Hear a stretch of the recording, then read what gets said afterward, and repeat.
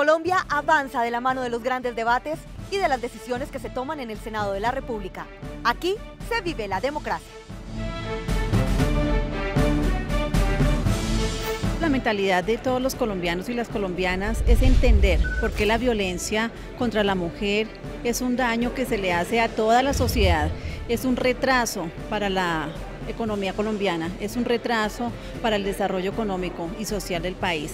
Así que debemos detener y acabar todo tipo de violencia contra la mujer.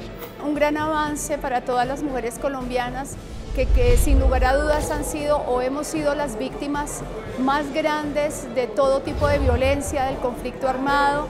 Son madres que han perdido sus hijos, mujeres que han perdido sus esposos, niñas que han perdido sus padres y, que de todas las formas han sido violentadas. Creo que este es un primer paso para que venga una verdadera equidad para la mujer y venga un verdadero proceso de resocialización y restitución de muchos derechos que han sido vulnerados.